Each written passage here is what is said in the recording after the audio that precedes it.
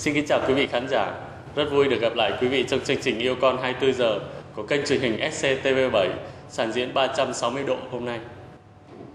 Cùng tham dự chương trình của chúng ta ngày hôm nay có một khách mời là chị Phạm Thị Thúy, chuyên gia tâm lý. Thưa quý vị, trong tuần này, nhóm phóng viên của chương trình Yêu Con 24 giờ vừa thực hiện một phóng sự về một gia đình trẻ với hai cô con gái hết sức hiếu động và dễ thương. Xin mời quý vị cùng theo dõi. Đạo diễn Hoàng Duẩn vẫn được biết đến như một nghệ sĩ có nhiều tâm huyết với sân khấu thiếu nhi. Có thể nhận thấy ngay điều đó qua những vở rối mà anh dàn dựng hay với chương trình tiếng nói trẻ thơ mà anh và nhà hát kịch theo đuổi suốt mấy năm qua. Bận rộn với công việc ở nhà hát, dựng kịch truyền hình, tham gia biểu diễn rối, các chương trình phục vụ, đạo diễn Hoàng Duẩn vẫn cố gắng dành nhiều thời gian cho thiếu nhi. Anh mong muốn các em, đặc biệt là các bạn nhỏ ở các vùng sâu, vùng xa, trẻ em thiệt thòi có cơ hội được thưởng thức nghệ thuật. Và chính anh là người mày mò, tự học để đem nghệ thuật rối đen về cho trẻ em Việt Nam. Với xã hội, anh có mối quan tâm như vậy thì ở gia đình hai bé sốt và nhiễm lại chiếm hết tâm trí của anh. Sau giờ làm việc, đạo diễn Hoàng Dưỡng chăm chút cho hai cô bé xinh xắn bằng những phút giây cùng chơi với con. Hơn ai hết, anh hiểu ý thích của con. Vì vậy mà ở nhà, các bé thường xuyên được xem kịch rối do chính anh biểu diễn. Hai cô bé thích lắm, luôn cố gắng nghe lời ba mẹ, ngoan ngoãn, chăm học để được ba diễn rối cho xem. Sóc và Nhiễm cũng rất thích được thủ vai, diễn cùng ba trong các vở rối mà gánh hát gia đình hay biểu diễn. Nhìn hai gương mặt trẻ thơ thích thú cùng lũ rối nhỏ, đạo diễn Hoàng Chuẩn lại thấy ấm lòng. sốc là chị, năm nay lên bảy, Nhiếp là em, sắp lên năm. Hai cô bé trên nhau vài tuổi, yêu thương nhau hết mực.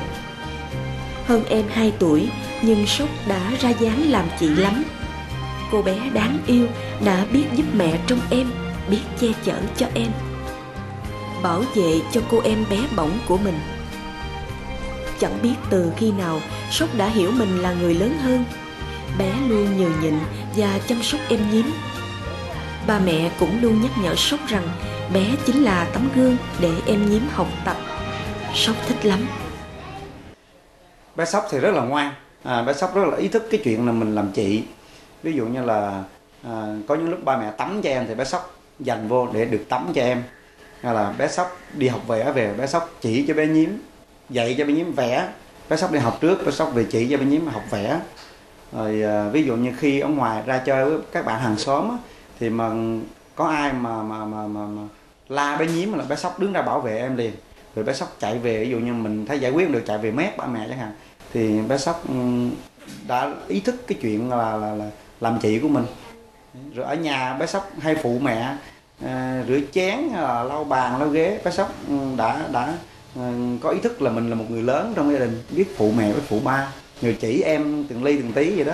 Nhất là chỉ em vẽ cái gì mà sắp học ở, ở trường thì biết là em mình chưa có cho nên về nhà chỉ cho em. Hay sắp hay đọc truyện cho em nghe chẳng hạn.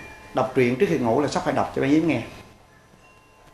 Sinh ra ở miền Trung cát trắng, Hoàng Duẩn đã nỗ lực rất nhiều để theo đuổi giấc mơ nghệ thuật. Cuộc sống đã qua những ngày vất vả, anh lại lắng nghe cuộc sống ở một lăng kính khác để đi tìm niềm vui cho các em thiếu nhi.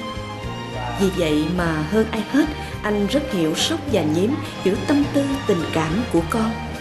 Và với những quan sát tinh tế của một ông bố làm nghệ thuật, anh hoàn toàn yên tâm với hai cô con gái nhỏ của mình. Sóc nhường nhịn, nhiếm hiếu động, nhưng rất biết nghe lời và yêu thương chị. Gần 15 năm hoạt động nghệ thuật, giờ đây đạo diễn Hoàng Dũng đã tạo dựng được tên tuổi của mình. Nhưng có lẽ điều anh hài lòng nhất trong cuộc sống là hạnh phúc mà gia đình anh đang có. Bởi nơi đó có điểm tựa cho tài năng của anh tỏa sáng. Chúng ta vừa được theo dõi một phóng sự về hai chị em rất dễ thương và trở lại cuộc trò chuyện ngày hôm nay. Thưa chị Thúy, khi bé được làm anh, làm chị thì bé cần có những tính cách nào ạ? Khi bé được làm anh, làm chị, à, trong nhà có thêm một em bé thì bé rất cần rất là nhiều tính cách. À, tôi xin đọc một bài thơ, một đoạn trong bài thơ làm anh khó lắm. Làm anh khó lắm, phải đâu chuyện đùa. Thế em bé ngã, anh nâng dịu dàng. Mẹ mua quả bánh chia em phần hơn, có đồ chơi đẹp cũng nhường em luôn. chúng ta thấy đấy một đoạn trong bài thơ đó đã nói lên rằng là làm anh làm chị thì cần phải có cái sự nhường nhịn em này giúp đỡ em này. Ông bà ta cũng có những câu tục ngữ rất là hay đó là ờ, chị ngã em nâng rồi một giọt máu đào hơn ao nước lã. Rồi anh em như thể tay chân rách lành đùm bọc khó khăn đỡ đần. Những tính, tính cách đó là những giá trị đạo đức ừ, truyền thống rất là tốt đẹp và cha mẹ cần vun đắp cho con mình khi mà các bé được làm anh làm chị. Sự nhường nhịn sự giúp đỡ sự chăm sóc em bé yêu thương bảo vệ em bé là những điều rất cần vâng thưa chị.